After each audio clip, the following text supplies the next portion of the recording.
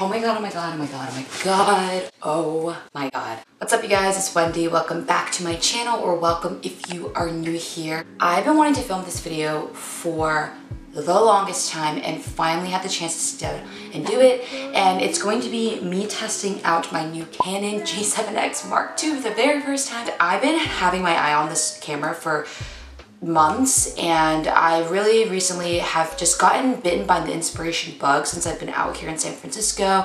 I think it's just a combination of me literally being in the hub of innovation and creativity and also just me having a lot more free time. But I've been wanting to take my videos a lot more seriously and so because of that I've been looking to get another camera. The camera I use right now is the Canon T5. It's not great and I've just been using my iPhone to vlog which works fine, but I really wanted to just like amp it up a bit. And so I had my eye on this camera, but it's really, really expensive. It's around $700 and I just didn't have the justification to fork up that kind of money. So I was just planning on waiting until I sort of could save up to afford it. But I ended up acquiring it just honestly in a twist of fate. Basically what happened is the other day I just came across a video of somebody that I recognized who worked at my company and I went through her channel and she has a substantial following. Her videos are amazing quality and I just got so excited and so I reached out to her and we grabbed lunch and I was telling her how I've been wanting the G7X but just couldn't afford it and she was like, oh, do you want mine? She said, yeah, my Canon G7X is just collecting dust in my room. You can totally have it. I basically told her like, I don't want to just take it from you. Like I just can't take a camera like that from me, but I'll buy it off of you.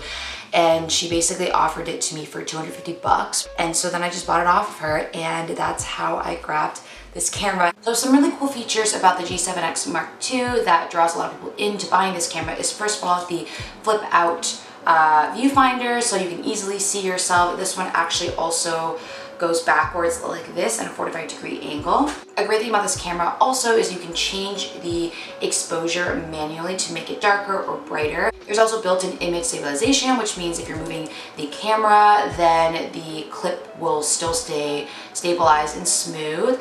Another awesome thing is that the screen is touchscreen and you can actually touch different parts on the screen depending on what object you want to focus on. So you can just quickly change the focus from one object to another.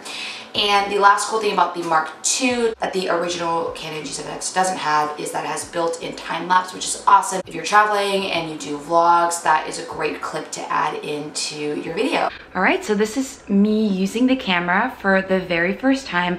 Right off the bat, I'm already so impressed. It just makes human subjects look amazing. The color is pretty true to color in real life. I feel like it's not making my skin look too orange or too dark or too bright and it just makes your skin, it really smooths out your skin. Like, I don't know if you guys can tell, but really does make you look great.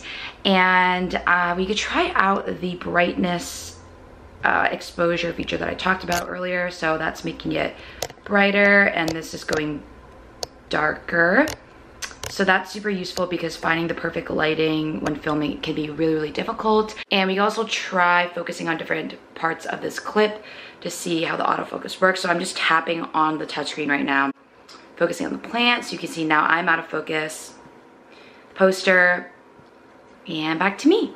You can also see like if we bring it closer to my face, it sort of just auto focuses um, and then pulling it out one thing I do think I have to get used to is the camera's pretty zoomed into your face. So this is me holding out the camera as far as I can.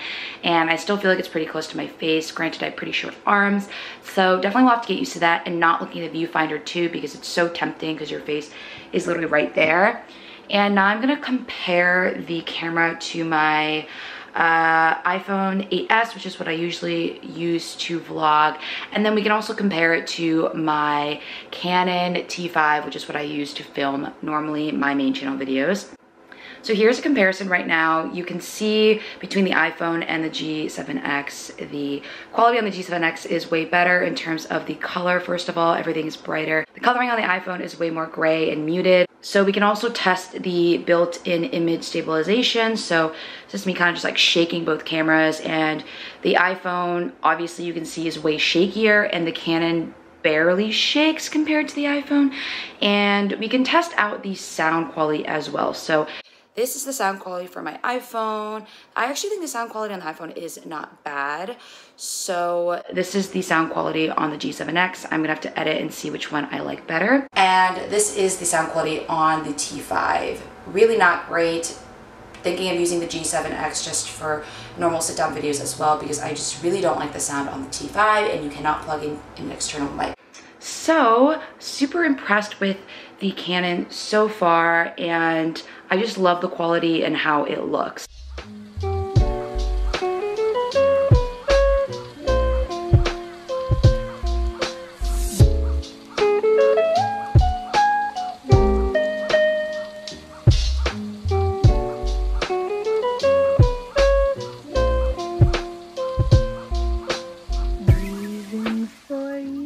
Alright guys, so that's going to be it for my video today. I'm really hoping that having this new camera is going to allow me to make way more and better content because I've been wanting to do that so much since I've been out here. Like I said, really been bitten by that creativity bug and I want to do a lot more vlogs, sit down videos, and this camera is just going to make things so much easier. Can't wait. Another thing I forgot to mention, there's actually built-in Wi-Fi on the camera so you can easily connect your photos to your phone and just send them over like that. So hoping all those features will help me out a lot. And I guess that's gonna be it for today and I'll see you in the next video.